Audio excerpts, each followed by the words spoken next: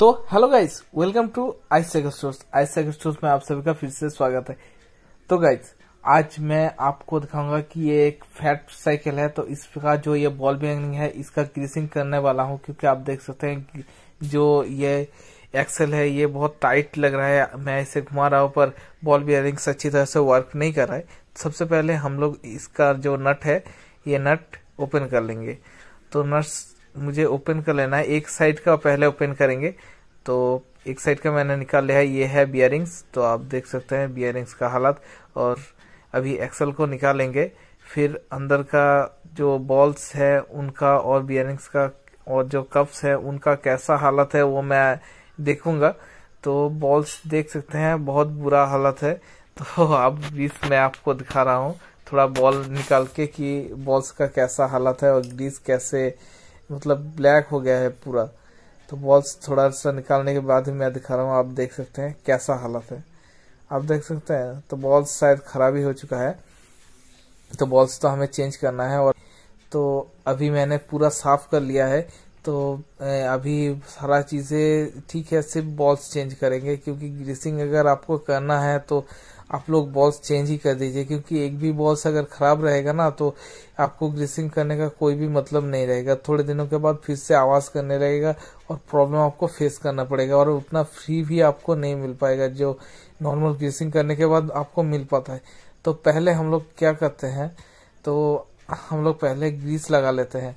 तो ग्रीस लगा, दोनों तरफ़ ही ग्रीस लगाना है तो पहले इस तरफ़ ग्रीस लगा लेते हैं।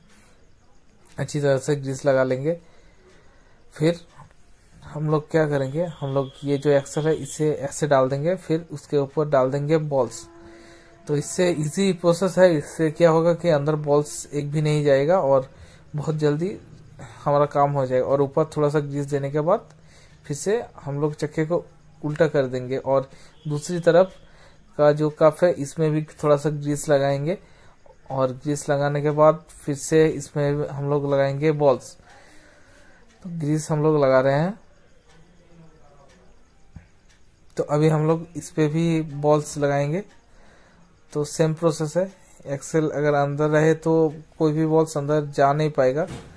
तो ऐसे ही सिंपल आप लोग इसके ऊपर लगाइए ये कवर ये कवर रहता है। इससे क्या होता है कि भी डस्ट और पानी कम अंदर जाता है। पर जाता है पर बहुत कम। तो इसे लगाना है। इसके ऊपर लगाना पड़ेगा हमारा बियरिंग तो यह बियरिंग अभी हम लोग लगा देंगे। तो बियरिंग्स को एकदम अंदर अंदर की तरफ़ लगाना है पूरा।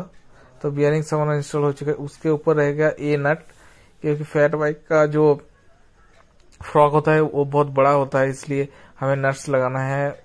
इसके लिए आपको क्या होता है कि तो गाइस आप देख सकते हैं कि हमारा जो ये बॉल भी ऐसे कितनी अच्छी तरह से वर्क कर रहा है, एकदम फ्रीली मूव कर रहा है तो ऐसा ही फ्रीली मूव करना चाहिए। तो ऐसा पहले नहीं कर रहा था, आप देख सकते कितना अच्छी तरह से वर्क कर रहा है। तो गाइज़ आपको ये वीडियो कैसा लगा? प्लीज़ मुझे कमेंट करके बताइएगा। कोई भी क्वेरीज होगा तो आप लोग कमेंट कर सकते हैं। और वीडियो अच्छा लगा हो तो एक लाइक कीजिएगा और चैनल पर नए हैं तो चैनल को सब्सक्राइब कर दीजिएगा। तो गाइज़ आज के लिए इतना ही। मिलता है नेक्स्ट वीडियो में और कोई भी वीडियो बनाने का आपको ज़रूरत होगा, कोई भी हेल्प की ज़रूरत होगा तो